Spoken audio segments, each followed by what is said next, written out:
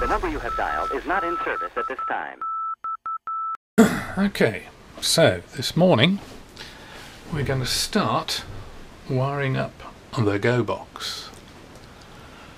So it'll be interesting to see how uh, the video footage works. Um, maybe we'll start with the loudspeaker and amplifier. So I'm going to deinstall this board firstly, which is the power board. Take that off, give myself a bit more room.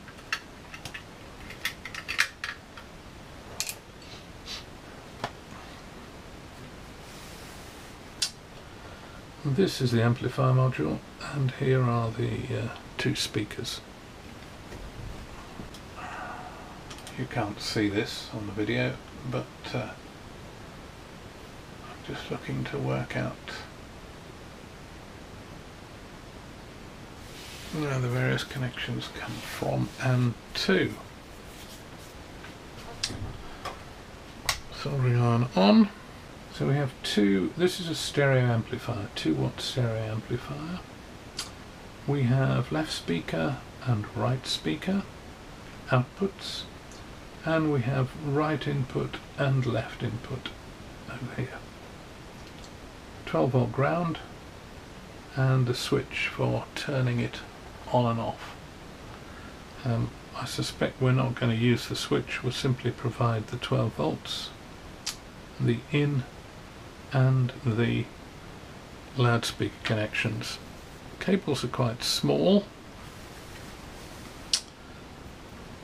Move those out the way. Here are the two uh, loudspeaker connections, so we have plus and minus, plus and minus, so that we keep it in phase.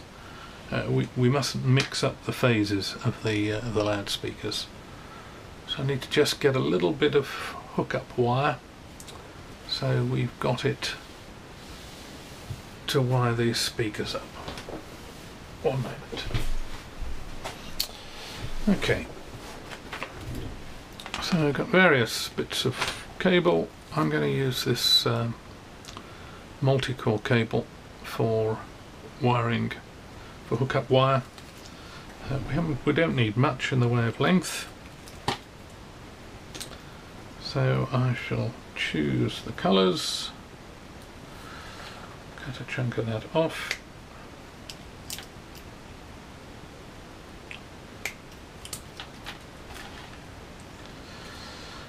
And decide which colours we're going to use for loudspeakers.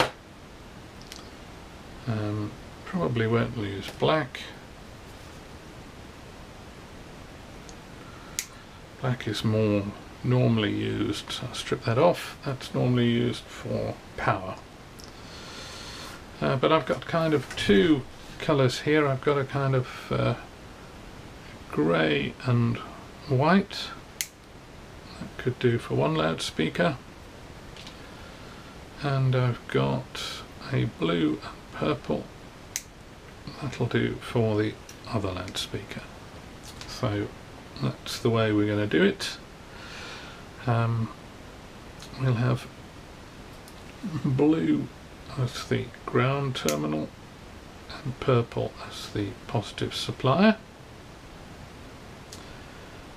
Um, so blue and purple and turn it over. This is the right hand speaker. 8 ohm speaker. So let's just strip the strip the cable. There we go quite good these uh, strippers. I don't have them very long. They're a bit cumbersome, but uh, they do work. Um, always tin the ends of uh, cable that you're going to solder. I need to get some more solder because I'm kind of running out. So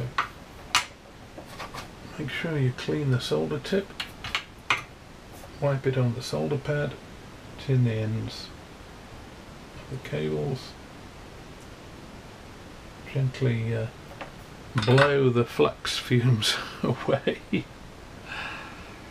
oh dear and we can going to use purple for positive. Cable.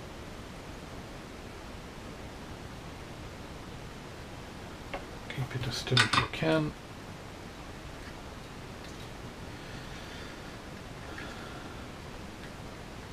And then we'll measure the length to the speaker. We want it as neat as we can. That'll do. Chop it off.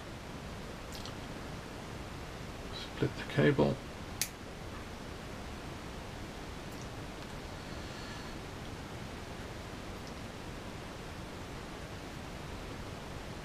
Now we're going to tin the ends again.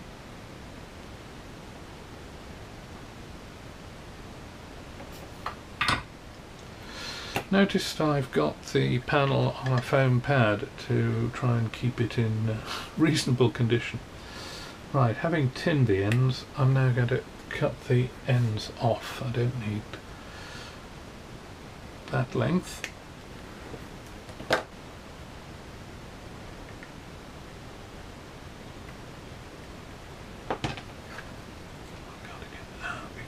To solder on. We'll just solder them from the top then. Amplifier.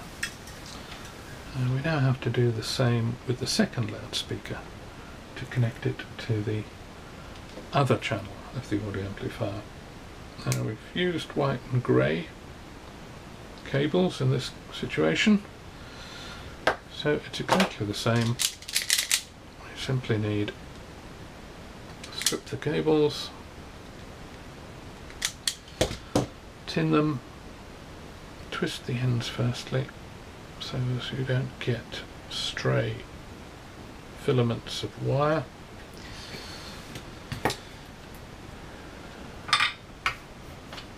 Clean the solder tip,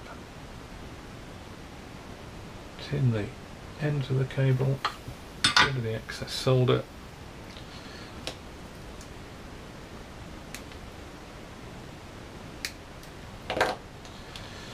And then tin the ends of the just check our schematic which you can't see because it's here on this computer screen. Uh, that all looks all right. So I now need to look out and wire up um, the input side which is these three here. Uh, they've got to go through to a plug. Um, that plugs into the rig. So, I shall be back shortly. We're sorry, the number you have dialed is not in service at this time.